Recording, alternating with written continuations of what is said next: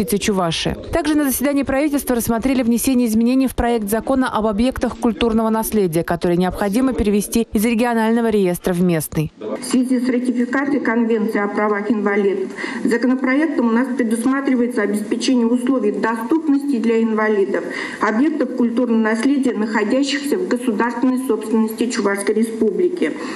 Э, сегодня мы работаем э, на объектах. Таких объектов в прошлом году у нас было шесть. Мы э, в рамках программы «Доступная среда» привели в соответствие. В этом году у нас таких объектов на сегодняшний день три. Это здание на Карла Маркса, дом 32, является объектом регионального значения. Музейно-выставочный центр нацмузея. Вот на них мы сейчас работаем. Кроме того, законопроект позволит гораздо эффективнее заниматься содержанием и сохранением объектов культурного наследия. В частности, он упорядочивает размещение рекламы на объектах культурного наследия. У нас сколько всего объектов сейчас в реестре? Можете сказать? А, По записке тоже не указали. На сегодняшний день у нас на территории Чувашской республики находится 661 объект культурного наследия. Из них в единый реестр включены 633 объекта. А документы охранные обязательства оформлены на 397 объектов культурного наследия. Но у нас на сегодняшний день в собственности физических и юридических лиц а, находится 217 а, объектов культурного наследия. Вот у нас и еще 76 у нас не имеет правоустанавливающих документов.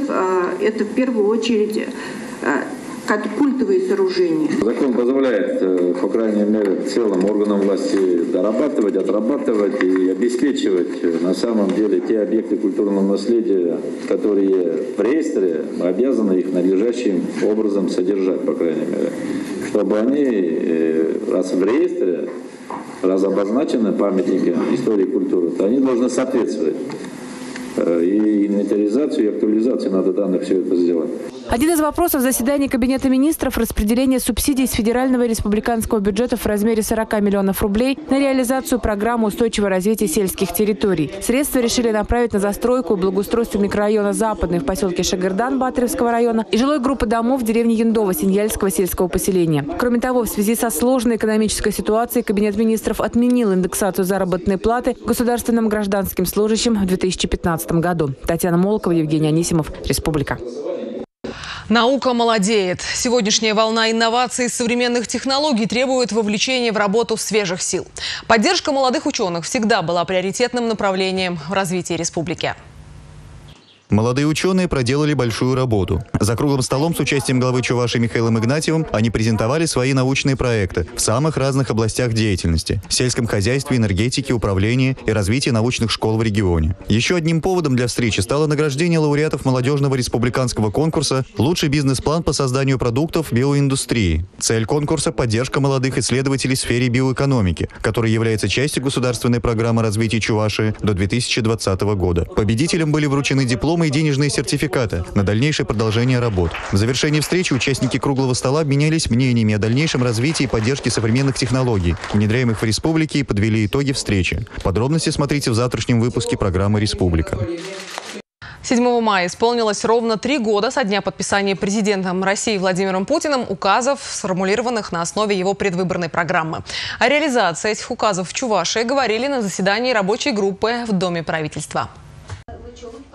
Первую очередь говорили о совершенствовании государственной политики в сфере здравоохранения. Специализированная наркологическая помощь Чуваши оказывается более чем на 260 койках. Обеспеченность наркологическими местами в республике составляет почти 2 на 10 тысяч населения. А по сравнению с 2011 годом число коек увеличилось почти на 7%. Также в республике продолжается работа, направленная на укомплектование в районах психиатрами-наркологами по обслуживанию детско-подросткового населения. Например, в 2014 году такие дополнительные кабинеты были созданы в Чебоксарском, Маргаушском и Цивильском районах. Что касается комфортного жилья и качества жилищно-коммунальных услуг, то за 7 лет в Чувашской республике было построено около 2000 квартир государственного жилищного фонда общей площадью более 106 тысяч квадратных метров. Эти помещения предоставляются гражданам, состоящим на учете нуждающихся в улучшении жилищных условий на 5 лет по договору коммерческого найма. Также в нашей республике реализуются мероприятия по переселению граждан из аварийного жилья. На настоящее время в рамках второго этапа уже переселили более 290 человек. Сам проект должен быть реализован в пять этапов.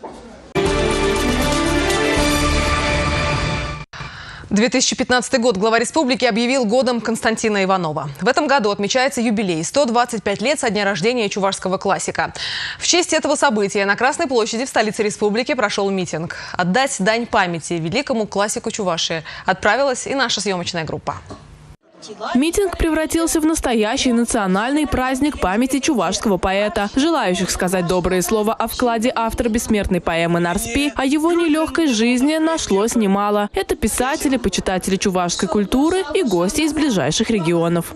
Константин Иванов для нас очень значимая фигура, э, потому что э, это, ну, во-первых, мы гордимся тем, что он родился на нашей земле э, благодатной. И для нас очень значимо, потому что наши, наши чуваши, они очень активные, очень талантливые люди. И мы гордимся тем, что у нас самая крупная диаспора чувашская за пределы Чувашской республики находится. 107,5 тысяч чувашей. И поэтому, конечно же, Константин Иванов мы чтим, помним, чествуем. Строки из Нарспи знают представители более 70 национальностей. Поэма была переведена на несколько десятков языков мира. И во время торжественного митинга можно было услышать некоторые из вариантов перевода. Мошаяк фазик, альмой. Возложить цветы к памятнику поэта прибыл и глава Чувашии Михаил Игнатьев. Он высказал слова восхищения творчеством Константина Иванова и прочитал одни из самых известных строк из Нарспи. Пужуйген, бажинже, хивельбахре жатса, сильби чеваш ялинче, юририльче васказа, тузе, сердце, хуп хура, юре кайзабетнерен, тухать курок, щеп щера, хевель, херце хернерен. Все те мероприятия, которые мы будем проводить в республике, в Чувашской республике, те мероприятия, которые будут проходить в республике Башкортостан, они оставят свой хороший, добрый след. Для того, чтобы люди любили землю, любили окружающих, любили своих друзей, уважали старшие поколения. Константин Иванов хотел этого, его имя в наших сердцах всегда будет живым. В завершении митинга на Красной площади прошло гашение марки Константина Иванова. А после в Чувашском драмтеатре состоялось торжественное собрание. Екатерина Абрамова, Регина Кубайкина, Александр Петров, Олег Якимов, Республика. Театр носит имя классика чувашской литературы. Рядом с храмом искусства памятник поэту. Деятели литературы, искусства, писатели и литературоведы, гости из других регионов говорили о современности творчества Константина Иванова. Он велик, потому что он вечен и актуален даже спустя столетия. 27 мая в стране отмечается Общероссийский день библиотек. Именно в этот день, в далеком 1795 году, императрица Екатерина II своим высочайшим повелением основала первую государственную публичную библиотеку в Санкт-Петербурге. История российских библиотек богата событиями и фактами. Книжная летопись сохранила имена тех, кто в разные времена работал с книгой. Современные библиотекари представляют собой хранителей многовековой мудрости наших предков, которая сегодня собирается бережно хранится в библиотечных фондах. Ведь по слову русского писателя и философа Александра Герцена, библиотека – это открытый стол идей, за который приглашается каждый. Состоялось первое судебное заседание по делу бывшего заместителя главы администрации Чебоксар по вопросам архитектуры и градостроительства. Напомним, что в 2012-2013 годах Александр Анисимов, предоставляя льготы и преимущества подконтрольной ему коммерческой организации, создал условия для незаконного изъятия из муниципальной собственности земельного участка. На участке, принадлежащем садоводческому некоммерческому товариществу, строительная фирма начала возведение пятиподъездного многоквартирного дома, в то время как разрешение имелось лишь на строительство двухподъездного здания. В результате противоправных действий нанесен ущерб бюджету города Чебоксары на сумму около 1 миллиона 700 тысяч рублей. Ваш, вот в каком состоянии? Здесь? Ваш вот, участок где здесь? Вот это участок наш. Эти участки вот эти. выкуплены все уже? Нет. Так. Эти участки Извините, ваши все проданы? Земли общего пользования пока числятся за нами. Земли Если... пользования, поймите правильно, земли общего пользования для того, чтобы вы могли их использовать в соответствии так, с целью назначения. Так, Хорошо, у вас а есть вот... решение? У говорит, ничего нет. А тогда зачем? Как их могли изъять без решения? Решение, о чем вы хотите? О том, об изъятии этих земель. Оно же просто так не изымается. Оно не изымается, оно в аренде у вас. Оно не ваше Так, земля, а, а- городская аренде- земля. а как, если даже оно у нас в аренде, почему без нашего согласования строится на наших землях? Подождите, это не ваша земля, это городская земля. Еще Так раз вам оно говорю. у нас в аренде пока. Она у вас в аренде, но она Так уже в аренде. согласовать с нами надо или Вам нет? направляли, вы не согласовали. А как? Кто направлял? Вам Кто? направляли не Никто. Ни одной бумаги. Ну. Кроме того, чиновник, препятствуя трем организациям-застройщикам, привлекал подконтрольную ему фирму к подрядным работам при строительстве трех многоквартирных домов.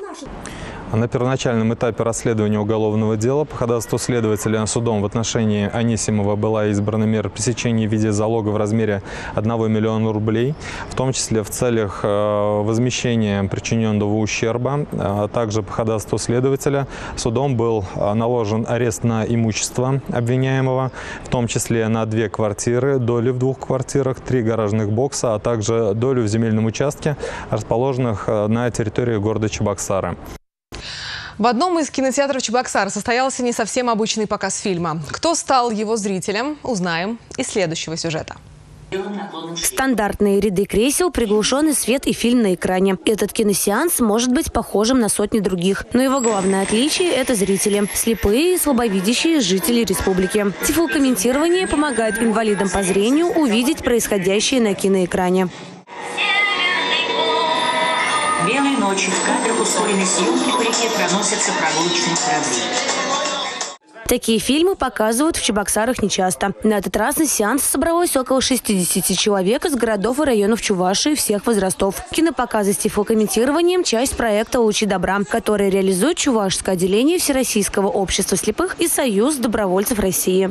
Это очень хорошо. В нашей стране это только набирает обороты и развивается. Уже много десятков фильмов э, уже есть с тифлокомментариями. Сейчас как раз в Госдуме обсуждается законопроект, чтобы фильмы, которые попадают в Госфонд Российской Федерации, э, тоже делались обязательно с тифлокомментариями, были доступны для незрячих, а также чтобы делались они с сурдопереводом. Проект реализуется несколько месяцев, но уже дает результаты. В его рамках проводятся различные семинары, туристические слеты, культурные и спортивные мероприятия. Все это помогает инвалидам по зрению чувствовать себя комфортно в современном мире. Татьяна Леонтьева, Татьяна Раевская, Андрей Спиридонов, Республика.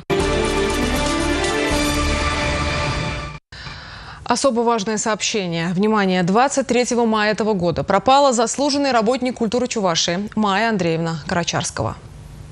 25 мая ее видели около Северного рынка. Она направлялась в сторону улицы Кривого. Майя Андреевна была одета в розовую ветровку, светло-серые штаны и черные резиновые сапоги. На вид ей 70 лет, документов при себе не было, страдает болезнью Альцгеймера. Всех, кто может сообщить какую-либо информацию о местонахождении Майи Андреевны, просим позвонить по телефонам 8 906 388 40 00, 8 919 652 62 24, в полицию по номеру 02 или написать на электронную почту rasha001 собака bk.ru.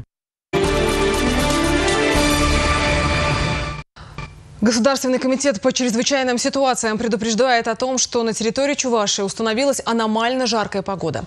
Температура может повыситься до плюс 30, а в выходные до плюс 35 градусов. Погода изменится только к середине следующей недели.